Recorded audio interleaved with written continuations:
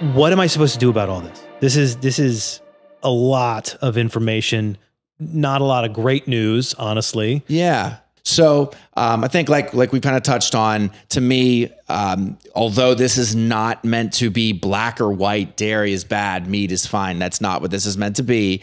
Um, just trying to create kind of a um, a structure or, or a hierarchy for maybe what's more of an issue. So to me, um, it's dairy is more of an issue than the meat itself. To me, still even within that, um, hormones are more of an issue than the antibiotics. Okay. Uh, particularly whenever you're making individual decisions, you cannot make these decisions. You know, big picture. You can't ultimately with the dollars you support. Sure. You know those angles you can take, and they're all valid. But in terms of just you're making a day to day decision. Um, one thing I do want to I do want to touch on that um, is is related to adolescent age children. Um, this is something that, in terms of the hot headlines or the theoretical things, you can find and kind of run with. Yeah. Um, in terms of studies, there is some um, confliction there. There's definitely some conflict related to um, what the facts are, but um, a, a, multiple studies that I read still kind of ended with the terms of we're more concerned about it in in um, adolescent age children, also in perinatal children, basically up to one year old. Um, and again, it has to do with those hormone exposures. So. Um, one study though that I definitely, you know, found was very conclusive was related to girls.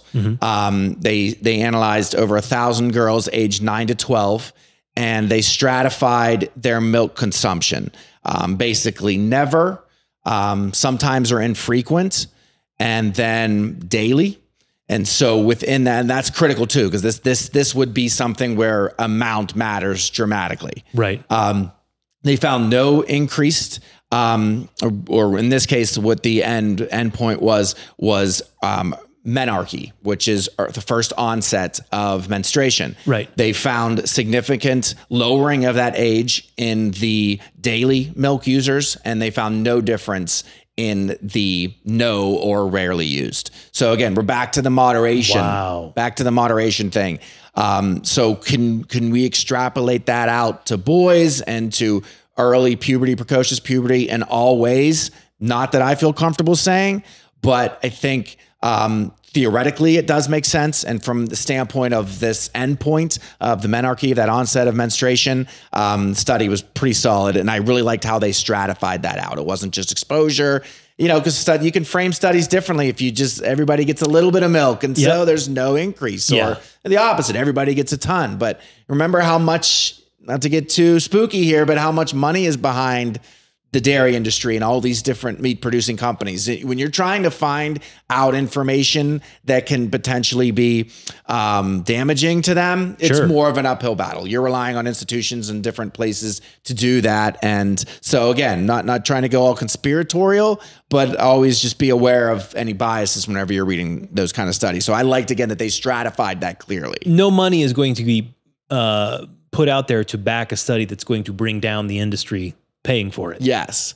So that And- makes And we sense. touched on Okay. it earlier, but related to hormone exposures and why a child may go through early puberty, things like that. We've got obesity. There much higher rates in children than there used to be. Sedentary lifestyles. Yeah. Um, the plant sources that that we mentioned, um, the BPA's, the plastics, the Teflon, all those things again are critical to the big picture of what you're doing. If you're denying your child all milk and they're overweight and sedentary and tons of soy and peanuts, you know, however it is, drinking out of water bottles all the time, the exposure. So I know it's Yeah. it's it's become a very hot line to draw it at the hormones and antibiotic things. I do it myself.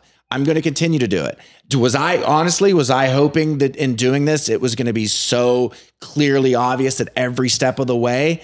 Um, I did think so. It'd be nice, There's- wouldn't it? Yeah, there's still there's still enough here that allows me to continue in that decision. Mm-hmm. But I think for the average person, milk is a good place to kind of draw the line in terms of yeah, I'm going to lean organic there.